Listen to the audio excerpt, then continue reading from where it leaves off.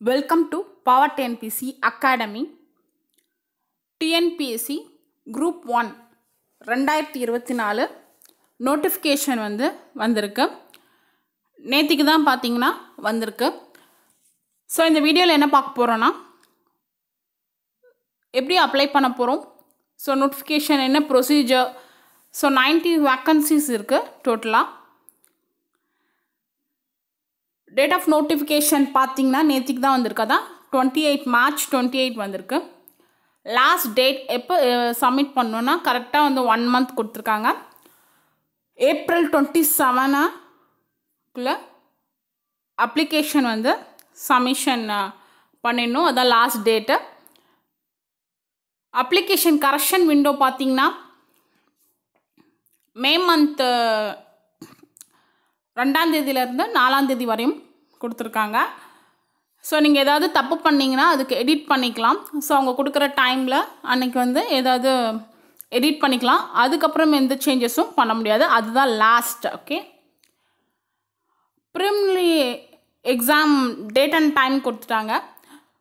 எப்போ அப்படின்னு பார்த்தீங்கன்னா ஜூலை தேர்ட்டீன் நடக்குது. ஸோ மார்னிங் தான் exam nine thirty to twelve thirty so exam டேட்டும் July thirteenth main exam வந்து ப்ரிலிம்ஸ் எழுதி அதுலேருந்து ஷார்ட் லிஸ்ட் பண்ணுவாங்க. ஸோ அதுலேருந்து ஷார்ட் லிஸ்ட் வரவங்க தான் மெயின் எக்ஸாமுக்கு எழுத முடியும். So main exam time date எதுவும் சொல்லலை. ஃபஸ்ட்டு ப்ரிலிம்ஸ் எழுதுனது அதோட ரிசல்ட் வந்ததுக்கப்புறம் தான் மெயின்ஸு யாரெல்லாம் வந்து மெயின்ஸ் எழுதலாம் அப்படிங்கிற ரிசல்ட் வந்ததுக்கப்புறம் தான் தெரியும். ஒன் டைம் ரெஜிஸ்ட்ரேஷன் ஆல்ரெடி பண்ணியிருக்கணும் டிஎன்பிசியில் ஒன் டைம் ரெஜிஸ்ட்ரேஷன் பண்ணி யூசர் ஐடி அண்ட் பாஸ்வேர்டு வச்சுருந்தீங்கன்னா so TNPC dot government dot in அந்த வெப்சைட்டில் போய் ஆல்ரெடி ரிஜிஸ்டர் பண்ணி வச்சுருந்தீங்கன்னா ஓடிஆர் யூசர் ஐடி பாஸ்வேர்ட் போட்டு எக்ஸாம் வந்து அப்ளை பண்ணிக்கலாம். ஸோ புதுசாக அப்ளை பண்ணுறீங்கன்னா ரெஜிஸ்ட்ரேஷன் பண்ணணும். டிஎன்பிசி கவர்மெண்ட் டாட் இன் வெப்சைட்டில் போய் ஒன் டைம் ரெஜிஸ்ட்ரேஷன் பண்ணிட்டோன்னா அதில் அந்த யூசர் ஐடி பாஸ்வேர்டு க்ரியேட் ஆகும். ஸோ அதை வச்சு நம்ம அடுத்த எக்ஸாம் வந்து அப்ளை பண்ணிக்கலாம். அதே தான் அப்ளிகேஷன் கரெக்ஷன் விண்டோ எப்போ அதுவும் கொடுத்துருக்காங்க. ஸோ மே மந்த் டூலேருந்து uh, ஃபோர்த்து ஒரு டேட் அண்ட் டைம் இருக்குது அப்ளிகேஷன் எடிட் பண்ணிக்கலாம். ஸோ இதில் வந்து பார்த்தீங்கன்னா பேண்ட் ஐட் ஐட்டம்ஸ் என்னெல்லாம் அப்படின்னு கொடுத்துருக்காங்க.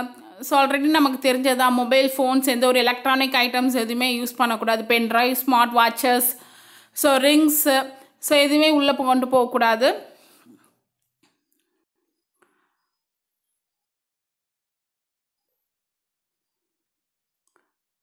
போஸ்ட் அண்ட் வேக்கன்சிஸ் என்னெல்லாம் கொடுத்துருக்காங்க அப்படின்னு பார்க்கலாம்.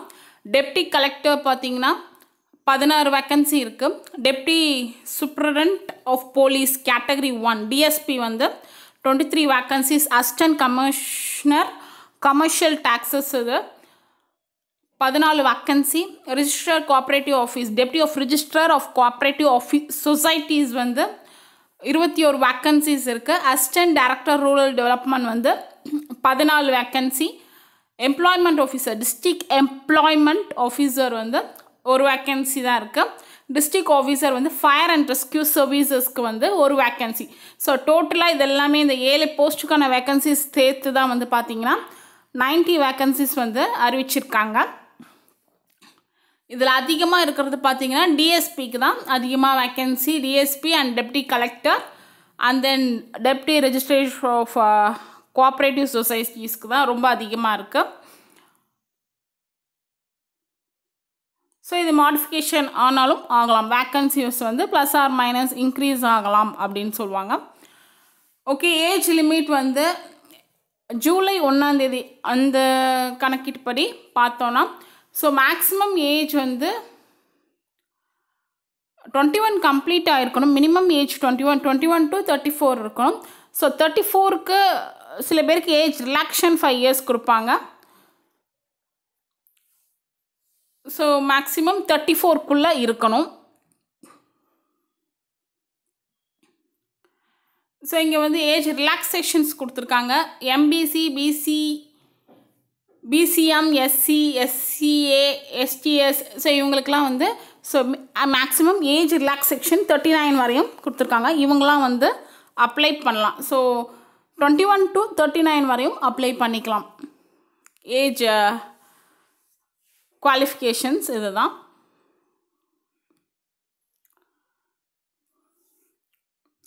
ஸோ என்னென்ன டாக்குமெண்ட்ஸ் வேணும் அப்படிங்கிறத கொடுத்துருக்காங்க. ஸோ டென்த்து சர்டிஃபிகேட் வேணும் twelfth certificates mark mark sheet issue பண்ணியிருப்பாங்களே so அதெல்லாம் வேணும். So suppose tenth twelfth mark ஷீட்டில் வந்து பர்த் பர்த்டே பர்த் டேட் இல்லைன்னா பர்த் சர்டிஃபிகேட்ஸ் வைக்கிற மாதிரி இருக்கும். Birth certificates TC degree mark ஷீட்டில் ஏதாவது ஒரு எவிடன்ஸ் மாதிரி வைக்கிற மாதிரி இருக்கும். அது இல்லைன்னா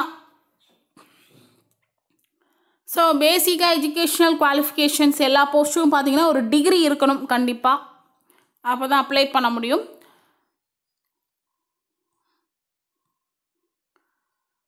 வேறு என்ன டாக்குமெண்ட்ஸ் தேவைப்படுனா டென்த்து முடிச்சு டென்த்து டுவெல்த்து டிகிரி சர்டிஃபிகேட்ஸ் தேவைப்படும்.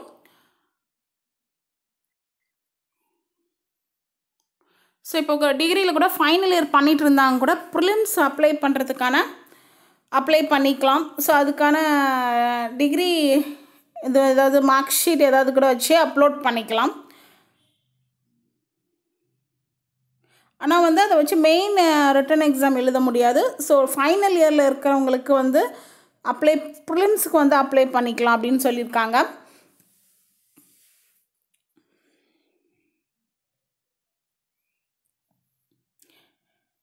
ஸோ மெடிக்கல் ஃபிசிக்கல் ஸ்டாண்டர்ட்ஸ் வந்து எந்தெந்த போஸ்ட்டுக்கெலாம் ரொம்ப பார்ப்பாங்க அப்படின்னு பார்த்தீங்கன்னா மெடிக்கல் ஃபிசிக்கல் ஸ்டாண்டர்ட்ஸ் உண்டு அப்படின்னு பார்த்தீங்கன்னா deputy superintendent of போலீஸ்க்கும் district officer fire and rescue சர்வீசஸ்க்கு so இந்த ரெண்டு போஸ்ட்டுக்குமே வந்து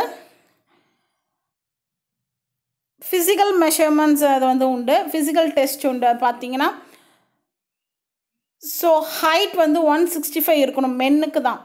டெப்டி சூப்ரண்ட் ஆஃப் போலீஸ்க்கும் டிஸ்ட்ரிக்ட் ஆஃபீஸர் ரெஸ்கியூ சர்வீஸ்க்கும் ஸோ மென்னுக்கு பார்த்தீங்கன்னா height one sixty five centimetre இருக்கணும். ஸோ செஸ்ட் மெஷர்மெண்ட் கொடுத்துருக்காங்க.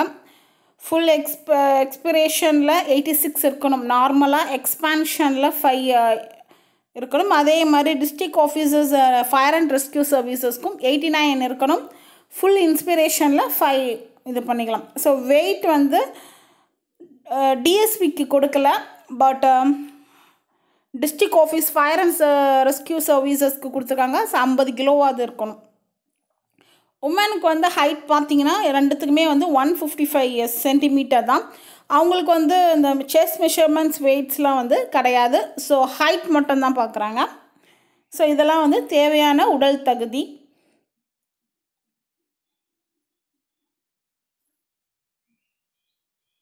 ஸோ ஐ ஃபிட்னஸ் சர்டிஃபிகேட்ஸ்லாம் அப்ளை அப்லோட் பண்ணோம் அவங்களுக்கு வந்து தேவையான உடல் தகுதி இருக்கா? கண்ணெல்லாம் நல்லா தெரியுதா? அப்படின்னு விஷன் சர்டிஃபிகேட்லாம் ஏதாவது டிஃபெக்ட் இருந்தாலும் அதெல்லாம் வந்து பார்ப்பாங்க.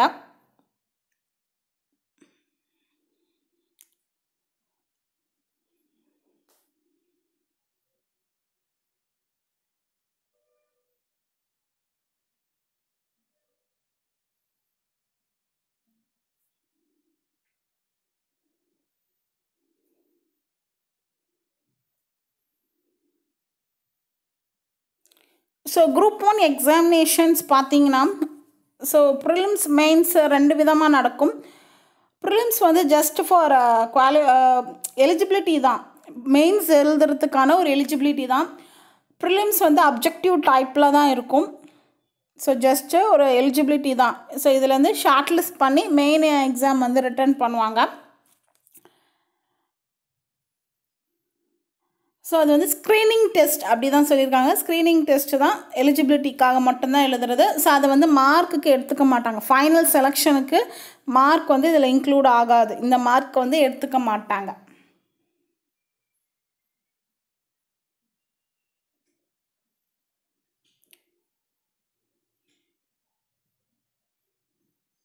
So one is to twenty ratio தான் வந்து மெயின்ஸுக்கு வந்து ப்ரிலிம்ஸ்லேருந்து ஃபில்டர் பண்ணி மெயின்ஸுக்கு வந்து அனுப்புவாங்க. ஸோ அந்த ரேஷியோவில் தான் அனுப்புவாங்க. ஸோ சர்டிஃபிகேட் வெரிஃபிகேஷன்லாம் வந்து இருக்கும். Mains L mains written exam எழுதுறதுக்கு முன்னாடி சர்டிஃபிகேட் வெரிஃபிகேஷன்லாம் வந்து இருக்கும். ஸோ அது எதுவுமே வந்து அப்லோட் பண்ண டாக்குமெண்ட்ஸ் அங்கே சப்மிஷனில் இருக்கணும். அது இல்லைனா ரிஜெக்ட் பண்ணிடுவாங்க. மெயின்ஸ் எழுத விட மாட்டாங்க. ஸோ மெயின் எக்ஸாம் அப்படின்னு பார்த்தீங்கன்னா ரெண்டு இருக்கும். மெயின் ரிட்டன் எக்ஸாம் எழுதிட்டு இன்டர்வியூ அது ரெண்டுத்தையும் தான் ஃபைனல் ரிசல்ட்டுக்கு வந்து எடுத்துப்பாங்க. ரிட்டன் எக்ஸாமையும் இன்டர்வியூவும் சேர்த்து தான் ஒரு மார்க்காக கன்சிடர் பண்ணி எடுத்துப்பாங்க. ஸோ இது பார்த்தீங்கன்னா நாலு செட்டு பேப்பரை எழுதணும். மெயின்ஸ்க்கு வந்து என்னென்னா நான் ஃபோர் செட்ஸ் ஆஃப் பேப்பர் இருக்கும். ஸோ அதில் பேப்பர் ஒன் வந்து பார்த்தீங்கன்னா தமிழ் எலிஜிபிலிட்டி டெஸ்ட் அதில் வந்து நீங்கள் பாஸ் ஆனால் ஆகணும். தமிழ் எலிஜிபிலிட்டி வந்து எதுக்குன்னா அது வந்து பாஸ் ஆகிறதுக்கு தான். அதுவுமே வந்து உள்ளே வந்து எடுத்துக்க மாட்டாங்க. எதுக்கு எடுத்துக்க மாட்டாங்கன்னா மார்க்குக்கு வராது. தமிழ் எலிஜிபிலிட்டி டெஸ்ட் வந்து ஜஸ்ட்டு பேசிக் எலிஜிபிலிட்டிக்காக தமிழ் எலிஜிபிலிட்டி டெஸ்ட் எழுதணும். Paper two paper three and paper four தான் மார்க்குக்கு எடுத்துப்பாங்க ப்ளஸ் இன்டர்வியூ இப்போ வந்து ப்ரிலிம்ஸ் எழுதுறீங்கன்னா அதில் என்ன எந்த சிலபஸ் படி கேள்வி கேட்பாங்க அப்படின்னு பார்த்தீங்கன்னா ஜென்ரல் ஸ்டடீஸ் கொஷின்ஸ் வந்து ஒன் செவன்ட்டி ஃபைவ் கொஷின்ஸ் கேட்டுருவாங்க. ஆப்டிடியூடு வந்து எஸ்எல்சி ஸ்டாண்டர்ட் தான். ஜென்ரல் ஸ்டடீஸ் மட்டும் டிகிரி ஸ்டாண்டர்ட் லெவலில் இருக்கும். ஆப்டிடியூட் வந்து டென்த்து எஸ்எல்சி ஸ்டாண்டர்ட் லெவலில் தான். ஆப்டிடியூட்லேருந்து ஒரு டுவெண்ட்டி ஃபைவ் கொஷின்ஸ் வந்துடும் அண்ட் தென் ஜென்ரல் ஸ்டடீஸ்லேருந்து ஒன் செவன்ட்டி ஃபைவ் கொஷின்ஸ் டோட்டலாக டூ ஹண்ட்ரட் கொஷின்ஸ்க்கு அப்ஜெக்டிவ் டைப்பில் ப்ரிலிம்ஸ் எழுதுவீங்க. So maximum marks three hundred so மூணு மணி நேரம் எக்ஸாம் நடக்கும். ஸோ இதில் வந்து மினிமம் குவாலிஃபை மார்க் கொடுத்துருக்காங்க. ஸோ அதெல்லாம் நம்ம எடுத்துக்கக்கூடாது ஸோ அதிகமாக எவ்வளோ வாங்குறீங்களோ அதை வச்சு தான் வந்து one is two ரேஷியோலாம் main exam main written exam எழுதுறதுக்கு உள்ளே விடுவாங்க. ஸோ அப்போ வந்து அதிகமாக மார்க் எடுக்கிற மாதிரி நம்ம பார்த்துக்கணும். ஸோ ஏன்னா இதில் full and full general studies and aptitude தான் எழுத போகிறோம் ப்ரிலிம்ஸில் ப்ரிலிம்ஸ் கிளியர் ஆகிட்டோம் அப்படின்னா அடுத்து மெயின் எக்ஸாமுக்கான இது. மெயின் எக்ஸாமில் நாலு பேப்பர் வரும். பேப்பர் ஒனில் தமிழ் எலிஜிபிலிட்டி டெஸ்ட் எழுதணும். இது வந்து ஸ்க்ரீனிங் டெஸ்ட்டு தான். அண்ட் தென் எஸ்எல்சி லெவலில் தான் இருக்கும் கொஷின்ஸ்லாம் ஸோ டிகிரி ஸ்டாண்டர்ட் கிடையாது. எஸ்எல்சி லெவல் நம்ம குரூப் ஃபோருக்கு எப்படி படிக்கிறோமோ அதே தான் எஸ்எல்சி லெவலில் கொஷின் பேப்பர்ஸ் வரும். தமிழ் எலிஜிபிலிட்டி டெஸ்ட்டு அது வந்து மூணு மணி நேரம் எழுதுவீங்க. ஸோ ஹண்ட்ரட் மார்க்ஸ் ஹண்ட்ரட் மார்க்ஸ்க்கு எடுத்துப்பாங்க. Paper two paper three paper four இது எல்லாமே வந்து ஜென்ரல் டிகிரி ஸ்டாண்டர்ட் லெவலில் ஓகேவா டிகிரி ஸ்டாண்டர்ட் லெவலில் வந்து டிஸ்கிரிப்டிவ் டைப்பில் எழுதணும். இது எல்லாமே பார்த்தீங்கன்னா இந்த எல்லா எக்ஸாமே டிஸ்கிரிப்டிவ் டைப்பில் நீங்கள் எழுதுறது. மூணு மணி நேரம் எழுதுறது எல்லாமே விரிவு அப்ஜெக்டிவ் டைப்ஸ் கிடையாது. டிஸ்கிரிப்டிவ்னா விரிவாக எழுதணும். எக்ஸ்ப்ளனேஷன் எழுதணும். கொஷின் அண்ட் ஆன்சர்ஸ் மாதிரி இருக்கும். எக்ஸ்ப்ளனேஷனோட எழுதணும். ஸோ இதுக்கு மினிமம் குவாலிஃபை மார்க்ஸ்க்கெலாம் கொடுத்துருக்காங்க. ஸோ இன்டர்வியூக்கு எதை எடுத்துப்பாங்க? இன்டர்வியூக்கு தனியாக நூறு மார்க் வர வைக்கிறாங்க. டோட்டலாக வந்து paper two paper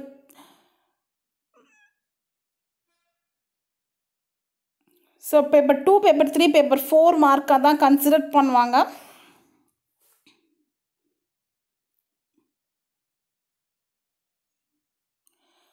பேப்பர் ஒன்னை வந்து கன்சிடர் பண்ண மாட்டாங்க. ஸோ அப்போ paper two paper three paper four plus interview சேர்த்து தான் உங்களுக்கு எயிட் ஃபிஃப்டி மார்க்ஸ் வருது. ஸோ எயிட் ஃபிஃப்டி மார்க்ஸ்க்கு நீங்கள் எவ்வளோ எடுக்கிறீங்களோ எந்த ரேங்க்கில் வரீங்களோ ஸோ அதை வச்சு தான் உங்களுக்கு ஃபைனல் ரிசல்ட் பப்ளிஷ் ஆகும். ஸோ என்ன ரேங்க்கில் இருக்கீங்களோ அதுக்கப்புறம் கவுன்சிலிங் சர்டிஃபிகேட் வெரிஃபிகேஷன் போய் உங்களுக்கு போஸ்டிங் ஆர்டர் வரும். ஓகேவா ஸோ அப்போது paper one Tamil eligibility test ஸ்க்ரீனிங்க்கு மட்டும் தான் two three four and then இன்டர்வியூவில் நல்லா பெர்ஃபார்ம் பண்ணால் தான் போஸ்டிங் கிடைக்கும்.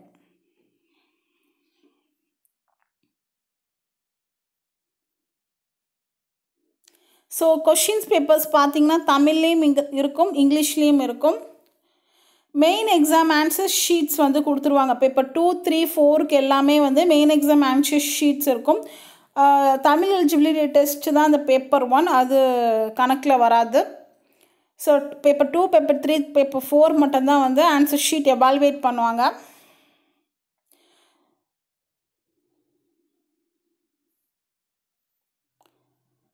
ஸோ டிஃப்ரெண்ட்லி எபிள் கேண்டிடேட்ஸ்னால் வந்து எக்ஸப்ஷன் பேப்பர் ஒன் எழுதுறது வந்து தமிழ் எலிஜிபிலிட்டி டெஸ்ட் கிடையாது. ஓகேவா அதுக்கான இது வந்து பேரா ஃபைவ் அந்த இதை பார்த்துக்கிட்டு நோட்டிஃபிகேஷனில் பார்த்துட்டு ஸோ அதுக்கான டாக்குமெண்ட் சர்டிஃபிகேட்லாம் வந்து டிசேபிள்டாக இருந்தாங்கன்னா அதுக்கான நோட்டிஃபிகேஷன் இது பார்த்துட்டு அவங்களுக்கு வந்து டாக்குமெண்ட் தனியாக அப்லோட் பண்ணணும்.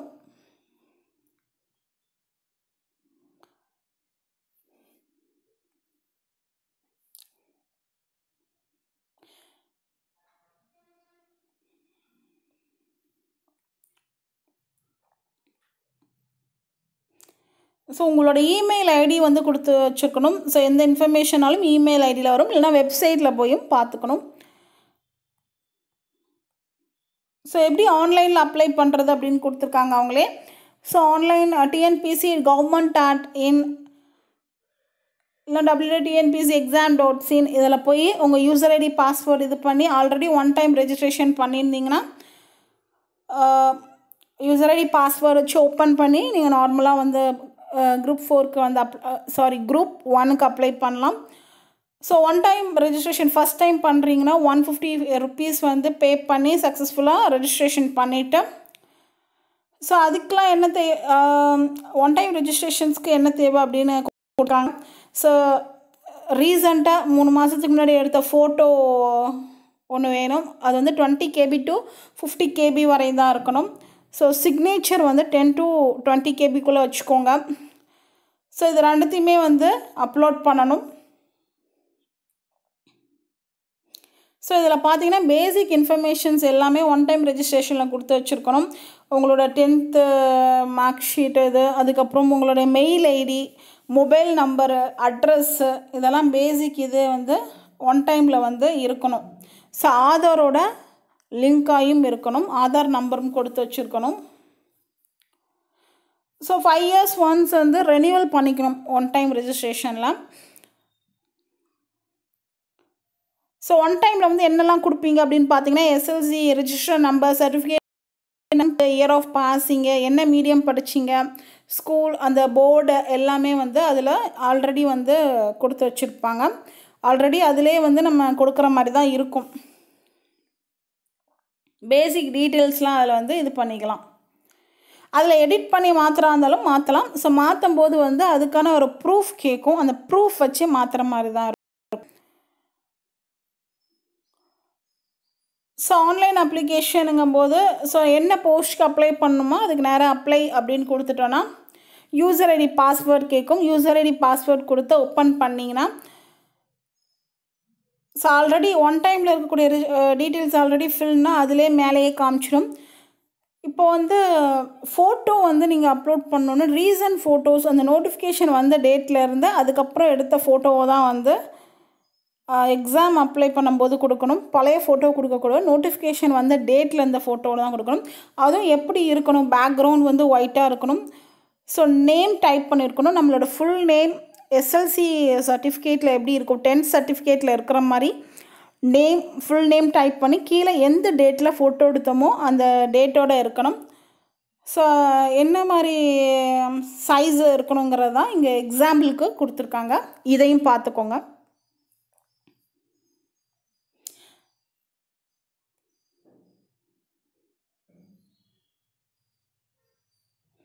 So twenty to fifty K upload பண்ணுறது வந்து twenty KB to fifty KB தான் இருக்கணும். அதே மாதிரி சைன் பார்த்தீங்கன்னா வந்து டென் டு டுவெண்ட்டி கேபிக்குள்ளே இருக்கணும். சைன் அப்லோட் பண்ணுறதும் டென் டு டுவெண்ட்டி கேபிக்குள்ளே இருக்கணும். எக்ஸாமினேஷன் சென்டர்ஸ் கொடுத்துருக்காங்க. ப்ரிலிம்ஸ் எழுதுறதுக்கு. ஸோ தேர்ட்டி எயிட் டிஸ்ட்ரிக்ஸ் கொடுத்துருக்காங்க. இந்த முப்பத்தெட்டு டிஸ்ட்ரிக்டில் நீங்கள் எந்த ஊரில் இருந்து எக்ஸாம் எழுத எழுதணுமோ உங்களோட நேட்டிவும் கொடுத்துக்கலாம். ஸோ இங்கே இருக்கிற இடமும் கொடுத்துக்கலாம். ஸோ இந்த இதில் இருக்கிற தேர்ட்டி எயிட் டிஸ்ட்ரிக்குள்ளே எக்ஸாம் சென்டர் இருக்குது ப்ரிலிம்ஸ்க்கான எக்ஸாம் சென்டர்ஸ் இதெல்லாம் மெயின் வந்து கண்டிப்பாக சென்னையில் தான் நடக்கும். சென்னையில் போய் தான் எழுதுகிற மாதிரி இருக்கும். ஸோ ப்ரிலிம்ஸ்க்கு மட்டும்தான் நீங்கள் வந்து தேர்ட்டி எயிட் டிஸ்ட்ரிக்ஸ்குள்ளே எந்த டிஸ்ட்ரிக்ஸ் வேணாலும் கொடுத்துக்கலாம். ஆனால் மெயின்ஸ் வந்து பார்த்திங்கன்னா சென்னையில் தான் நடக்கும். சென்னையில் தான் போய் எழுதணும். ஸோ எல்லாத்தையுமே வந்து கரெக்டாக டீட்டெயில்ஸ்லாம் என்ட்ரு பண்ணி சேவ் பண்ணி ப்ரொசீட் பண்ணணும். ஸோ ஆன்லைன் அப்ளிகேஷன் ஃபில் பண்ணும்போதே எடிட் பண்ணிக்கலாம். Um, ஐ மீன் அது சப்மிட் பண்ணதுக்கு முன்னாடியே நீங்கள் எடிட் பண்ணிக்கலாம். சப்மிஷனுக்கு அப்புறம் எடிட் பண்ண முடியாது. So application correction window open ஆகும்போது தான் எடிட் பண்ண முடியும். ஃபைனலாக எல்லா டீட்டெயில்ஸும் கொடுத்ததுக்கப்புறம் சப்மிட் பண்ணிடணும். ஸோ எக்ஸாமினேஷன் ஃபீஸ் பார்த்தீங்கன்னா குரூப் ஒன் ப்ரிலிம்ஸ்க்கு பார்த்தோன்னா நூறுரூபா பே பண்ணுற மாதிரி இருக்கும். ப்ரிலிமினரிக்கு மட்டும் நூறுரூபா பே பண்ணுற மாதிரி இருக்கும். ஸோ சில பேருக்கு ஃபீஸ் எக்ஸப்ஷன் இருக்கும். அவங்களாம் பே பண்ண தேவையில்ல. மெயின்ஸ் எக்ஸாம்ஸ்க்கு பார்த்தீங்கன்னா டூ ஹண்ட்ரட் ருபீஸ் பே பண்ணுற மாதிரி இருக்கும். ஸோ ஷார்ட் லிஸ்ட் பண்ணிட்டு நெக்ஸ்ட் மெயின்ஸ் எழுதுகிறவங்களுக்கு டூ ஹண்ட்ரட் ருபீஸ் பே பண்ணுற மாதிரி இருக்கும்.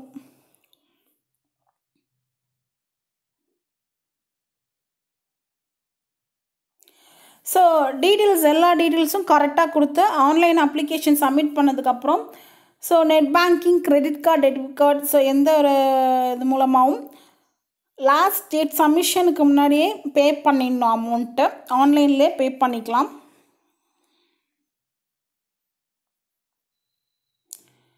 ஸோ எல்லாமே அப்ளிகேஷன் சப்மிஷன் ஆனதுக்கப்புறம் பேமெண்ட்டும் கொடுத்ததுக்கப்புறம் உங்களுக்கு அப்ளிகேஷன் நம்பர் அப்ளிகேஷன் ஐடி வந்து ஜென்ரேட் ஆகும். ஸோ அதை வந்து பத்திரமா நோட் பண்ணி வச்சுக்கோங்க.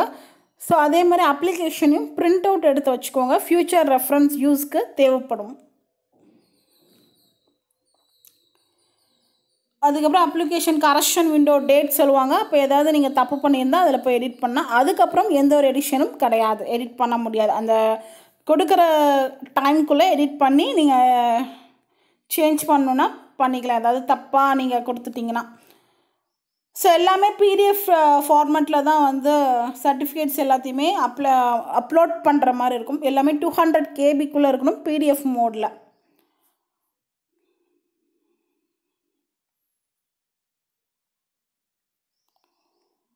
ஆல்ரெடி கவர்மெண்ட் ஜாப் வேறு ஏதாவது ஜாப்ல இருந்து இந்த போஸ்ட்டுக்கு அப்ளை பண்ணுறீங்கன்னா நோ அப்ஜெக்ஷன் சர்டிஃபிகேட் வந்து வாங்கி அப்லோட் பண்ணணும்.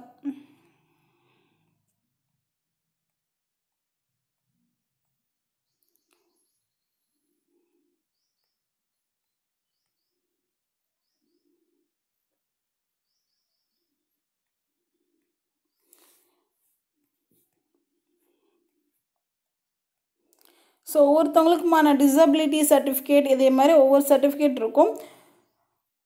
ஸோ இதெல்லாம் ஃபில் பண்ணி அப்லோட் பண்ணுற மாதிரி இருக்கும். டிசேபிள் பர்சன்ஸ்க்கான இதெல்லாம் கொடுத்துருக்காங்க. நோ அப்ஜெக்ஷன் ஏற்கனவே வேலையில் இருக்கிறவங்க. ஸோ அவங்களுக்குமான ஒரு ஓபிசி சர்டிஃபிகேட்டு நோ அப்ஜெக்ஷன் சர்டிஃபிகேட்லாம் வந்து அப்ளை பண்ணி இது பண்ணுற மாதிரி அப்லோட் பண்ணுற மாதிரி இருக்கும். தமிழ் மீடியம் படித்தவங்க பிஎஸ்டிஎம் சர்டிஃபிகேட்ஸு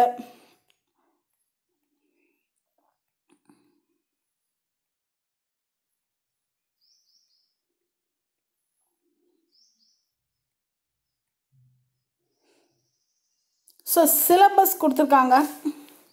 குரூப் ஒன்க்கான சிலபஸ் அப்ஜெக்டிவ் டைப் இது வந்து ப்ரிலிம்ஸ்க்கான syllabus so general science current events geography history Indian polity Indian economy Indian national movement history culture heritage socio political movements Tamil Nadu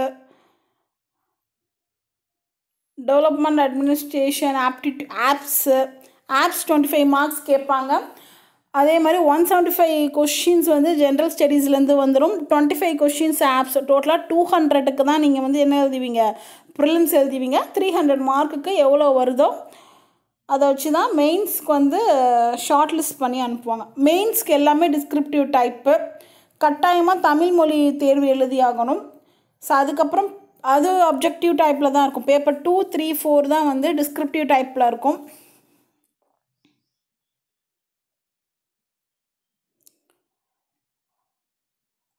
so அதுக்கான syllabus கொடுத்துருக்காங்க. இது வந்து நான் பிடிஎஃபில் வந்து attach டிஸ்கிரிப்ஷனில் வந்து இந்த லிங்க் கொடுக்குறேன். நீங்கள் போய் நோட்டிஃபிகேஷன் டவுன்லோட் பண்ணி சிலபஸ் பார்த்துக்கோங்க.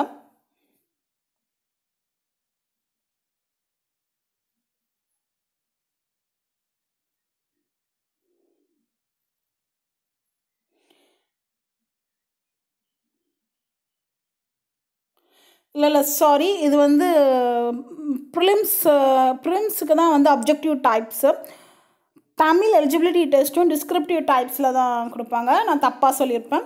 தமிழுக்குமே நீங்கள் மெயின்ஸ் எழுதும்போது டிஸ்கிரிப்டிவ் டைப்பில் தான் எழுதணும். மெயின் எக்ஸாம்னாலே எல்லாமே விரி விரிவாக்கமாக எழுதுறது தான்.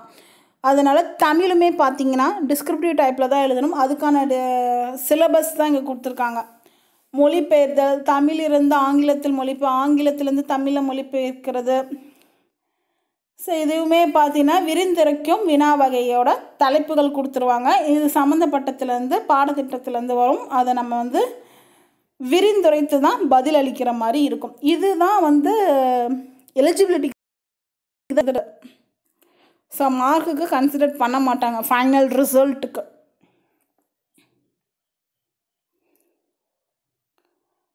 ஸோ அதே மாதிரி பேப்பர் ஸ்டடீஸ் என்னென்ன சிலபஸ் வருதுன்னு கொடுத்துருக்காங்க.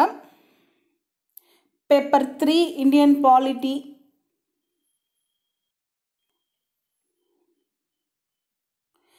paper four வந்து ஜியாகிரஃபி ஃபுல்லாக environment Indian economy current affairs ரிலேட்டடாகவும் வரும்.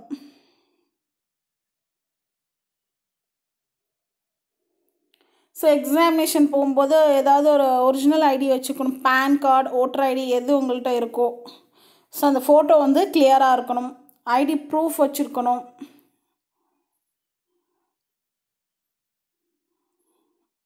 ஓகே அவ்வளோதான் ஸோ ஓஎம்ஆர் ஷீட்டை எப்படி ஃபில் பண்ணணும்? எல்லாமே ஸோ இதோட இந்த வீடியோ முடியுது.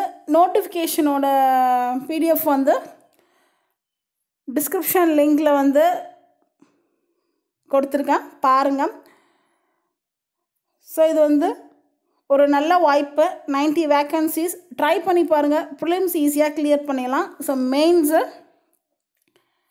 மெயின்ஸ் கூட பார்த்துக்கலாம். ஃபஸ்ட்டு ப்ரிலிம்ஸ் ஈஸியாக கிளியர் பண்ணிடலாம். ஸோ இந்த வாய்ப்பை வந்து தவற விட வேணாம். எல்லாருமே அப்ளை பண்ணுங்கள் தேங்க்யூ